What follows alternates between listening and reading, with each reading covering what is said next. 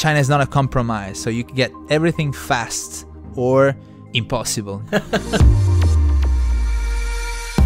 Welcome to Mosaic of China, a podcast about people who are making their mark in China. I'm your host, Oscar Fuchs. We all know the old stories about fake goods in China. But the parallel worlds of intellectual property infringement and anti counterfeit regulation have changed a lot over the last decade. In today's episode, I talk with the lawyer Vittorio Franzese to reminisce about what it was like when this cat and mouse game was at its peak. Who were the counterfeiters? What actions could the lawyers take against them? How did the high profile police raids come about? And what part did the big e commerce platforms play in all of this? And why the hell am I asking myself so many questions? If that wasn't enough, to top it all off, not only do we talk about law courts, we also end up talking about tennis courts. Perfettissimo. I am here with Vittorio Franzese. Is that how you say it? I'm uh, I'm amazed by your pronunciation, Oscar. and you like to go by Vito, right? So I'll call you Vito today. yeah, Vito Vito is perfect. Uh, thank you, by the way, Oscar, a lot for inviting me. My pleasure. And I should also mention if you do hear some background noise, this is to the listeners, it's because I've invited Vito to my house today. We had an issue with the studio, so I hope the sound quality will be okay. So, Vito, what is it that you do here in China? So I'm here in China working as a lawyer. I, I practice foreign law in an international law firm with an Italian background. Um, I'm in China since uh, it's been seven years already. I'm doing that. And before we go any further, tell me, what is the object that you have brought which in some way describes what you do? Okay, um, I brought two objects with me. I actually couldn't choose. One is uh, is actually some food. Um, Okay, well, let me have a look, because if it's food, I'm interested. Okay, I take it. I hope it won't make too much noise. fine. this is uh, typical snack uh, from the south of Italy, and it's my real comfort food. It's something that people all around Italy make fun of us from my region. These uh, kind of salty biscuits. They're called taralli. Taralli, okay. So wait a minute, let's do this now. Right. Here we go. Oh, yeah. What's the herb in that? Uh, it's actually fennel. It's just a seed of the fennel. Uh, It's fennel. Right, okay. I don't normally like fennel, but that is lovely. Okay. My actually grandma and my mom were always always putting in all my suitcases when i was leaving to somewhere when i was going to the university it's supposed to save your life because you can maybe find yourself in a place where you don't have any food that you like to eat and this will be something that can replace a, a meal uh, one of those can replace a half a dish of pasta It is pretty dense. It's not exactly a diet food. It's not recommended in any any diet but uh, especially when you're 8000 kilometers far from home uh, you feel better when you eat one of these And they're called what again? Taralli is the plural. One is tarallo. Tarallo. Tarallo. Yes. And you're from the south of Italy in that case. I am from Puglia, which is the region uh, extreme southeast of Italy, uh, the heel of Italy's boot. Yes, I think all of us can picture that. That's the funny thing about Italy, it has the most easy to understand shape.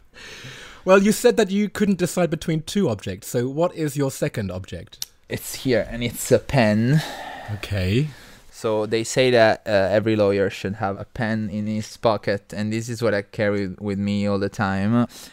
It was donated to me by um, my dad's law partner. I come from a family of lawyers, so this guy that I always considered my family, he kind of believed in my dad when my dad just graduated, and he hired him in his firm. They became partners, and he was the first one that was really, really happy when I decided to come to China. I made this choice. I should have taken over my dad's firm. When I when i made this decision, it was kind of uh, controversial for my mom, for my family, for some friends. Uh, but this guy was always seeing it as a positive decision, as uh something that would have changed my life. And I mean, I like to think that he was right. It's interesting because the pair of those objects do encapsulate your identity to me. You know, I actually have known you now for a couple of years. And when I think of you, I think of a lawyer and a South Italian. So maybe I have to keep both of those objects in, although I'm breaking my own rules here. Hmm. Uh, but that's excellent. And I did not know actually that your father was also a lawyer. So it was always destined that you would be a lawyer. It wasn't. I tried to since I was little to you know take the distances from what my father was doing. He was working a lot. I, I would see him working every day uh, waking up very early in the morning. He wasn't really my type of life that I would see for, for my future. So I kind of tried my own way and I wanted to be a journalist. But then, since we don't have a, a serious journalism uh, faculty at university, they take law and then they, they do some journalism courses and stuff. So, okay, well, whatever, let's take law. And then, of course, at the end of the study, I, I realized that was kind of my inclination, kind of, I was defending my, my rights in so many situations throughout my life that I thought, okay, I could do this for, for other people. Let's move on then to your life in China. So, how did that start? Did you come straight away to Shanghai? Uh, no, I didn't come straight to Shanghai. My first place where I've been living in China is Beijing. I've been living there for my first three years in China. I was working in an American firm doing uh, anti counterfeiting law, a funny thing to do in China. Right. Interesting. And anti counterfeit was a big subject five, ten years ago, especially, right? Yes, absolutely. I arrived, and you see from abroad, you never know what happens within China borders. Uh, how do the big brands uh, protect, uh, enforce their intellectual property rights? When uh, in China, uh, ancient China, copying was considered some uh, way to appreciate someone else's work. You copy, and you let the author of the work know that you copied him. For example for example, um, some script or some uh, paintings that were particularly liked by the people, and everyone was thinking of the best way to copy it, the most faithful way to copy it. Right, I see. Out of respect for the original artist.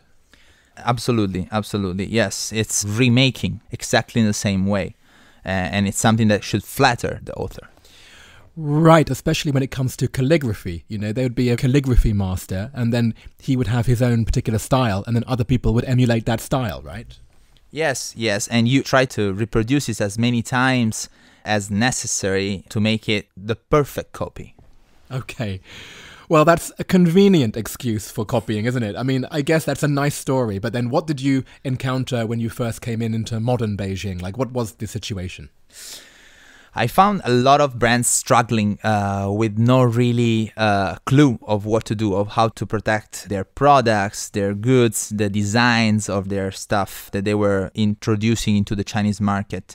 Uh, so many of them were just throwing money at some uh, agents or investigators, which was supposed to help them uh, finding out what the sources of the goods was, but without really a strategy. That's something that I found in my uh, anti-counterfeiting team back in Beijing that my boss had a clear strategy of several steps to follow to get to the big fish, the one that was producing the goods.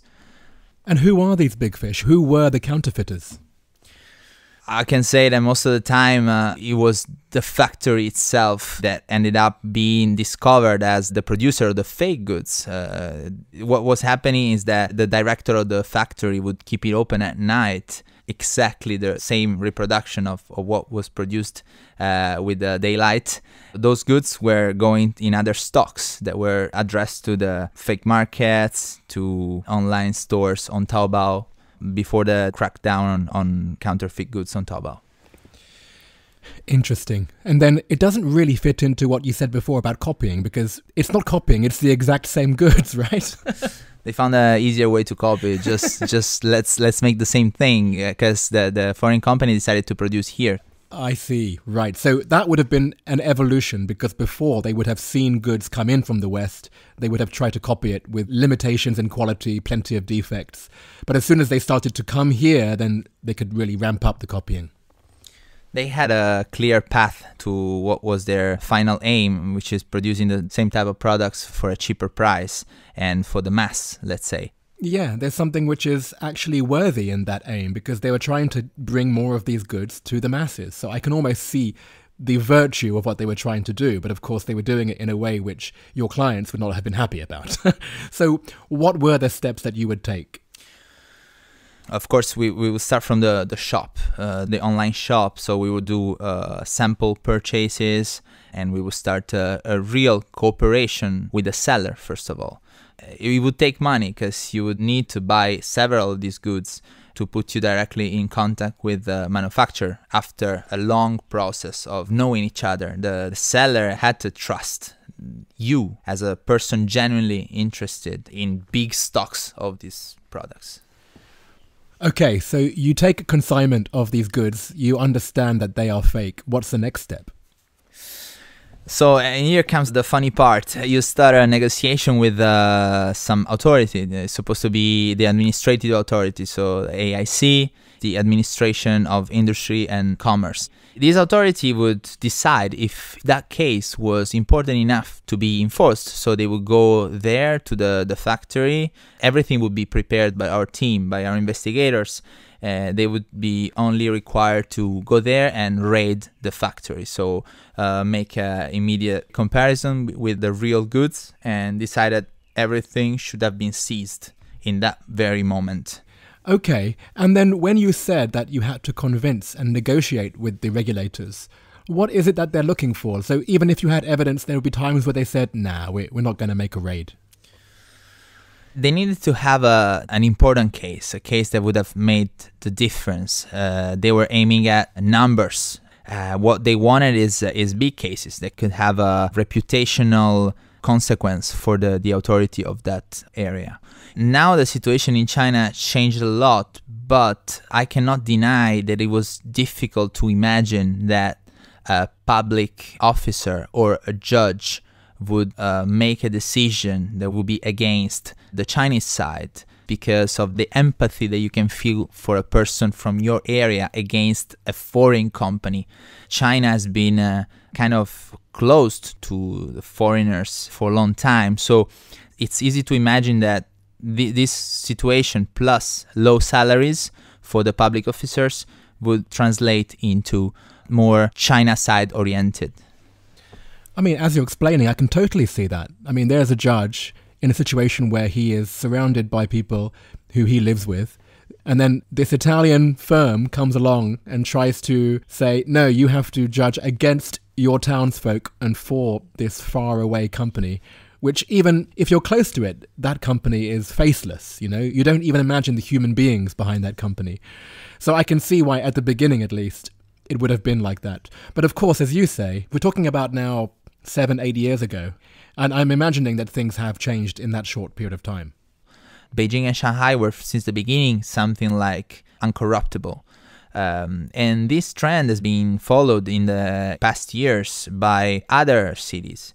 I believe they don't want to discourage the business there that can come from abroad. So they are more and more issuing uh, decisions that can uh, be considered uh, fair. Right. And I'm also assuming that the law has itself become more professionalized in these rural areas too, right? Because I'm guessing a lot of these judges in the past would have just been party officials who didn't have a background in law. Yes, yes, education is doing a lot, and the pressure from the government is also having its effect there's a precise policy now that has been followed in the past years and has been implemented by the local judges, the local authorities, and by the e-commerce platforms that before were part of the problem and that now are more and more themselves the enforcers of these policies. Right, you said e commerce, and that's interesting because in my mind, when I think about counterfeit, I think about just the local market with somebody who has put a few things on a blanket and tries to sell it. But what was the interface between counterfeiting and e commerce? So, um, 80% or 90% of fake goods were sold on e commerce platforms. So, that, that was representing already uh, big, big revenue, of which the foreign brands would be deprived. But what happened is that the big platforms like Alibaba or like Tmall, JD, or uh, YHD they were realizing less and less trust of the brands in general, also the Chinese big brands. And they decided to take a step to start controlling themselves the goods, starting to filter what was sold on those channels, on those pages. In that case, how would they have made the distinction between real goods and a counterfeit good, especially in the case where, let's say, it's a factory that produces the same goods overnight? They were starting asking more about certificates. If the distributor is an authorized distributor, if they have a directly relationships with the brand or what's the chain of sale. They were starting to get to the, the source of these goods. So, where did you purchase them? Why do they have that price? Got it. So, in that way, you can easily distinguish the true goods from the fake ones. Does that mean then that nowadays you can't find fake goods online? Well, the situation has absolutely improved in the past years. I don't want to say that the problem is solved uh, there's still specific platforms uh, for specific products. There's fake wines still being sold all over the web. Uh, but compared to 10 years ago, we are getting almost clean by, by counterfeit goods. But I always, always suggest my clients to register their trademark in China, even they are not present in China, even they have no intention to penetrate Chinese markets. They still are taking a chance to become so famous that someone is trying to steal their trademark in China to register in China. There's a prior to file principle in China, so not prior to use. So no right is granted to the use of a trademark. So somebody in China can register and can start producing legally Wow. Which I guess some companies have found out to their surprise. There's so many cases, uh, for example, concerning the, the Chinese trademarks, so the Chinese transliterations of the trademarks. Uh, Hermes found out too late that Aimashe, their Chinese transliteration, had already been registered in China. Uh, it was the same uh, for New Balance or for uh, Viagra or for Jordan. They all realized too late that the way Chinese recognize them by their Chinese name, if there somebody registers that, then a lot of rights are not enforceable anymore for foreign brands in China. But so many fashion small manufacturers that didn't plan to get so successful found themselves uh, copied and with a Chinese name they didn't know about. Well, as fascinating as this is, I know that I'm doing a disservice to you because actually you don't do this anymore. So you've moved from Beijing to Shanghai, and this is now a whole different world to what you're doing today. Yes, yes, I I kind of switched. Uh, I still deal with uh, intellectual properties. My uh, one of the uh, the uh, areas of expertise I, I practice with with most pleasure in China, especially. But I practice uh, international transactions, cross-border transactions, commercial agreements. Uh, this is what I do nowadays in Shanghai. This is, in my mind, more of the sort of typical cross-border international commercial lawyer. I went back to be a boring lawyer. No, you're not boring, Vittorio. Like, what projects do you have rumbling along now? Well, I enjoy being a lawyer. I enjoy my profession, but I also, you know, see myself after a few years getting out of those uh, boundaries, uh, getting out of the profession itself. This is what I'm, I'm, actually already starting to try out with a few friends. We got super addicted to a particular sport, a racket sport called paddle tennis paddle tennis. It's called like that in uh, Spanish. He was born in the 70s, and uh, the name comes from uh, the particular shape of a racket that looks like a pan. And you play a kind of tennis uh, two against two, but the court is a bit smaller and is surrounded by glass panels, so you can use the glass panels however you want in the game. Which is like squash, I guess? It's very similar to squash. I would say it's uh, in the middle between squash and tennis, but it's uh, more fun because you share the, the social aspect of the team, of being in a team of two people, and of uh, running from one side to the other of the court uh, in complete harmony with the other player, with your teammate. So you can get to never ending points, to incredible rallies and, and marathons, and it's really, really fun. Uh, we created a small community that now grew up uh, up to 100 people that are weekly playing this sport. And uh, all of them got super super addicted to it and they want to play more. We invented this ranking system. I invite you to to try it out. Okay so where is this court? So somebody built a court Yes, the, the, court was built already by a Swedish company. Uh, they just wanted to try the paddle market in China, so they found this space in uh, Yangpu district. Uh, what I would like to do is also to build our own courts with my partners. That are also, of course, my friends and the people I play paddle usually with. We are actually at the moment very close to signing a deal. Uh, I will tell you the details uh, later when it happens, and it's gonna be even more an addiction all right, I am going to look up paddle tennis. I've never heard of it. But this is partly what I think Shanghai does to people because the people here are so commercial. Everyone is an entrepreneur. Even if you're a lawyer, you have a side gig. I'm almost not surprised that you have something like this in your back pocket yeah we, we all become uh, kind of sales of ourselves uh, in some way. So uh, the opportunity and the chance is literally around the corner. I, I see a city that is still growing a lot economically speaking and there's, there's still opportunities for everyone. Is uh, potentially more capitalistic than any other country i've been living in. So um, yeah why not giving it a try?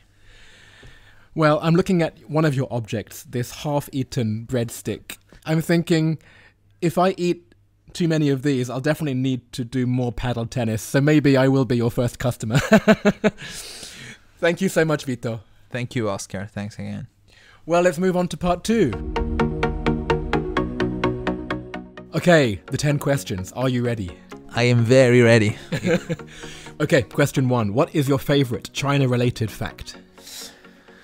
So I was in a compound in Beijing and I realized that in that compound there must have been more people than in my hometown uh, related to the amount of people that can be uh, in a compound or a, a district of a big city like Beijing or Shanghai. My hometown is called Trani. It's on the east coast of Puglia, so it's a very nice old town with a cathedral on the sea, but no more than 50,000 people. Uh, so kind of hard for me to imagine the amount of people I would have faced here 50,000. And what was the compound you lived in in Beijing? It was obviously a, a big high rise building. It was a compound made by uh, probably uh, 8 to 10 buildings of 42 floors each. I mean, going back to Trani, then, that would have been a place where you would know everyone in that town, and they would know you, and they would know your business we all know each other, yes, and they would know not only your business, they would know what you've done uh, the night before because they probably have seen you. there is some comfort in the anonymity of living in big cities, right? Do you have a favorite word or phrase in Chinese? Uh, relating to my, my personal experience, I would say uh, 中国梦, the Chinese dream. Right, 中国梦, yes, the Chinese dream. As I was saying, this is a country that I found out can be country of the opportunities where to grow your dream and this is exactly what happened in the first four years um, i realized that i was uh, uh, that was growing very fast and i was already when i imagined i would have been in uh, 10 or 12 years yeah, you're right. It is funny how somehow when you step into China, you basically are on this fast track to something completely new. Okay, next question. What is your favorite destination within China? I was uh, stunned by uh, Yunnan's mountains. Um, I found places where you can access only with the jeep that is driven by a local guy that can bring you up in the mountain, and that was uh, pretty amazing. You arrive to a small village, and it's just a little mountain village as you imagine in your dreams. I felt for the first time uh, that traveling in China wasn't something too mainstream. I felt like you still can get to isolated place up on a mountain. Amazing. Okay. Well, I've been to Yunnan. It was always my dream. But now you're making me think that I have to go back immediately. if you left China, what would you miss the most and what would you miss the least? It's something that uh, I, have always thought about China. Uh, by living here, you realize how easy is the life. Uh, sometimes you have a problem and it gets solved just by knowing someone that has dealt with it before. Suddenly, it's not anymore a problem. I feel like I do a lot of things in one day, uh, something I wouldn't be able to do uh, back home uh, where where life is so so chill. And, and you need to take your time for every single thing you you want to complete. Um, on the other side it's that something that could look super straight and super easy to get would become impossible just for reasons that are unknown to you. Because you have to pass through some uh, authorization or procedure that suddenly uh, becomes slow and you cannot explain why but, but you just you just find yourself in front of a problem that you didn't expect to encounter. China is not a compromise so you get everything fast or impossible. Well said. Is there anything that still surprises you about life in china uh, absolutely yes. I still get surprised every day. Um, I was cycling to work uh, in Beijing, and on this big, big road, uh, I was seeing a huge Porsche. Uh, they were pulling over, and the mom was was getting off with the kid that was just uh, peeing over the street, like no one is is seeing us. These people super wealthy, they're still being uh, just practical. Yes, yes. I might drive a huge Porsche, but I'm going to help my kid piss out of the door.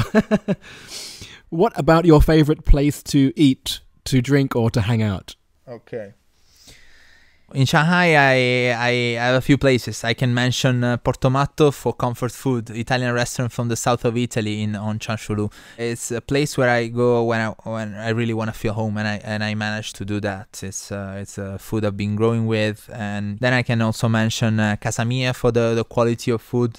And I have to say that I do really love W Hotel for their Sunday brunch. Uh, I do like that vibe. Nice. What is the best or worst purchase you've made in China? Uh, I, have to say I'm really, really attached to my first bicycle I bought in Beijing. It's a proper Hutong bike uh, with uh, huge wheels I bought it on Smart Beijing from someone that was uh, leaving Beijing after maybe 20 years. Uh, it was kind of a rare example of a Hutong bike that people could use back in the 70s or the 80s. So I really kept it with care. And I was moving around the streets of Beijing thanks to this transportation that I gave to my best friend once I left Beijing. It's still there. I still use it when I go there for business trip. Okay. Well, I need to have a photo of that. What is your favorite WeChat sticker? Okay, so uh, this is the 100 quiet notes. Someone folded it down. Uh, it looks like Mao is super sad, but then suddenly you change the perspective and you see Mao assuming a happy face and then also a mean face in the very end. nice. Next question What's your go to song to sing at KTV? I think that I have to talk about my favorite Chinese song that I like to sing at KTV. It's called uh, "Woman Bu Yang." Uh, it's a very popular song from Da Zhuang. I don't know the author well, except for this song, but I really like to sing it, especially when there's the refrain part. Uh, reaches uh, some high tones. Uh, I love to try to, to get them well, though it doesn't really happen often. yeah, but if you're drunk, you don't care, right? the other people care, though. They still notice it. okay, I'm going to steal that one. And finally, what other China related media or sources of information do you rely on? So I, I know what's happening uh, because I read maybe the, the first page of a, of a Chinese newspaper and I analyze the, the point of view of the Chinese press. I've been watching CGTN sometimes. I read China Wire and China Insights. Very good. Well, thank you, Vito. That was a real pleasure. I enjoyed getting to know more about your background, things that I didn't actually know myself. thank you so much for the great chance. And before you go, out of everyone you know in China, who do you recommend that I interview for the next season of Mosaic of China? Terika Cortel. Uh, she knows uh, this country as no one else, I would say, and she has a very, very peculiar point of view on what happens here, also related to her Tahitian uh, island uh, background. So it would be really interesting uh, for you to hear her, her point of view. Well, thank you. I'm glad that you said it was Terika because actually I know you through Terika and yeah, she is from Tahiti, and I think that alone makes her interesting enough to talk about. But yeah, her experiences in China should make for a great episode. Thank you so much, Vito. Thank you again, Oscar. Thanks. So, Vito has indeed opened a paddle tennis court in central Shanghai, and it now has over 300 members. And if that wasn't enough, it happens to be the highest paddle court in the world.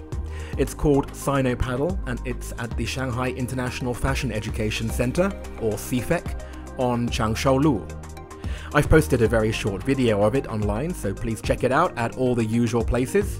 And apart from that, you can also see other fun stuff, such as Vito eating a bag full of taralli, he and his colleague sitting on some seized counterfeit toy cars, he and friends posing like Da Vinci's The Last Supper at one of the favourite restaurants he mentioned, him looking very relaxed in his hometown of Trani, and my personal favourite, he and his best purchase in China, the Hutong bike.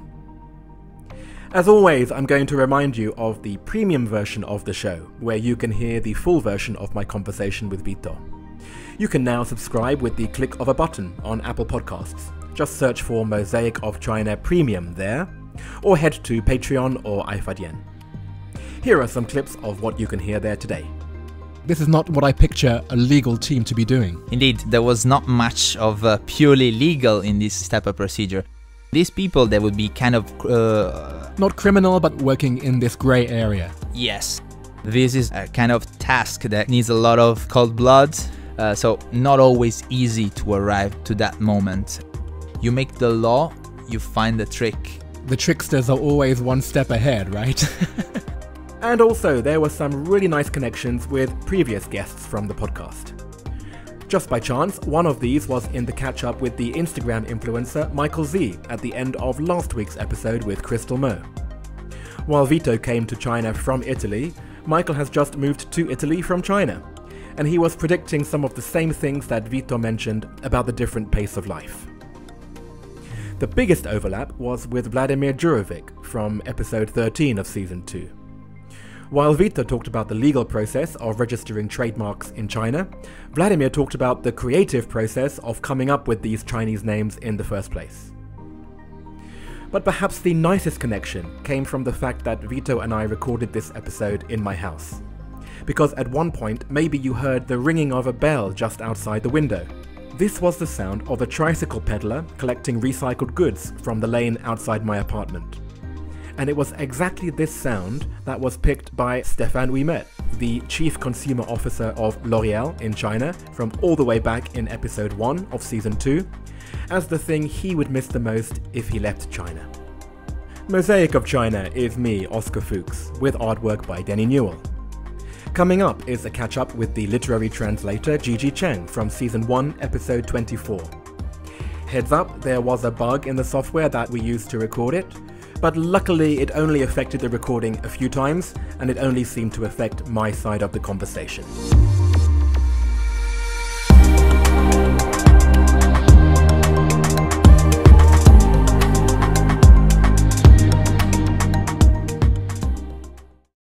Hello. Hey! Hello, Oscar. How are you? I'm well, uh, but all the better to see you now that it's been so long. And I say that because actually you left Shanghai quite soon after we did our recording. Where am I talking to you from now? Yeah, I'm now in Shenzhen, so I think we must have recorded about two years ago. Yes, it was. And how is Shenzhen? It's great. It's um, busy and happening, and because it's much warmer here, a lot of the restaurants have outdoor seating. So, so it always feels sort of buzzing. But otherwise, like life as a translator, I guess would be more or less the same wherever you are. It's just you and your clipboard. yes, and my computer, my like my desk, my whole setup, and it, it doesn't really change. You know, I work from home anyway, and I don't have that much social interaction before. Well, last time we talked, we were talking about your work translating, of course, The Legend of the Condor Heroes by Jin Yong. when we talked, I think the second volume of the novel, which was the first book that I translated for the series, has just come out. I was starting to co translate um, volume three with the translator of volume one, Anna Holmwood. And then since then, I have finished translating the rest of the novel, which is volume four, with Shelly Bryant, who used to live in Shanghai, but right now I think she is in Singapore. Okay, so now you have co translated three out of the four volumes, which is now the whole book finished. Yes, yes, indeed, yes. you have now been imbued in this world of kung fu for two, three years. So, Uh, six what does it mean? Six already. How does it feel now to be done with the whole book? Like, do you feel like a relief or do you miss it? It's really exciting. I won't say I miss it because I've already started the next one. The oh, next so it's part. not finished. No, Oh, no, God. no. It's a trilogy. So we've only finished the first novel of the trilogy. The first novel is four volumes, and I'm now starting the next novel, which is also another four volumes. My God, this is going to be your entire life's work. yes, it's, it's going to be the next few years at least, hopefully. Did you ever imagine you'd be spending six years already and then a further God knows how many doing this one book? Um, no, I haven't sort of thought of it or planned it to happen this way. It just sort of snowballed by itself. It's as a freelancer, it's very, very nice to know that you have work lined up. At the same time, it's also very stressful to know that you've got work lined up because it means you may have to say no to a lot of other opportunities when, when they arise. Any freelancer Mm. You've already would committed know. yourself. Mm. Yes, yes. Any freelancer would know work comes like buses. They either come in batches or they don't. I guess it's nice to be able to really immerse into these worlds because I read them in my early teens and watched the TV dramas back then, and it, it's really nice to rediscover them. Yeah, that is nice. And you've done other podcasts since doing mine. I feel like I've launched your career as a podcast guest. Culture Potato, 文化土豆. This is the project that your friend Sammy Liu is working on, right? Uh, her her husband, um, Yifan, and they actually got a bookshop now in London. Well, this is actually it because after you referred Sammy, she and her husband moved to London. And of course, I think the plan was to have a, a lifestyle that was going to be half London, half Beijing. But it turned out to be 100% So London. Lon- yeah. yes. So actually, that's the reason why, in the end, even though she was a great referral, we couldn't really include her in the second season of Mosaic of China, sadly. Yeah, wait until they come back. Yeah, maybe we can get them back for a, a future season. Uh, but yeah, I'm Yeah. sorry about that. But um, I did find a good replacement, so I will put out your update chat that we're doing now alongside the person who I found as a replacement. okay, okay, great, great. Well, there has been one sad update since you left, and that I saw on a post that you did. It was about one of your pets, which you counted as your best purchase that you made in China. Dora, yes, she passed away last year. She had a lot of health issues. She's got no teeth. She could barely see. She can't hear very well, and and so in the end, it's she just got old and passed away. But she didn't suffer too much, so it was okay. Yeah, and Yeah. I was really sad when I saw you and your husband post about that. But at the same time, it was so amazing to see what life you gave her, you know, the extra two years that she was able to yeah. spend with you because, you know, she was already given up for dead when you adopted her in the yes, first place. Yes, yes. So it was um, a blessing, and it was really nice to have her. We still got one dog and one cat, so it's not like the household is empty. Yes. Yeah. And are there any plans to replenish the menagerie with some local Shenzhen pets? um, probably not for the time being. No. Until you see another photo online and then you're forced to. yes, yes, yes. Well, we're coming up to the end of our time. Thank you so much, Yep. Gigi. It was great to have you on the original show and great to see you again now. I Yeah. I have a special place in my heart for people like you who work with words. I just love the stuff that you do when you are sort of swimming around those two cultures and trying to find the little bridges that link the two. I just love that stuff. Thank you so much, Gigi. yeah. Okay. Thank you.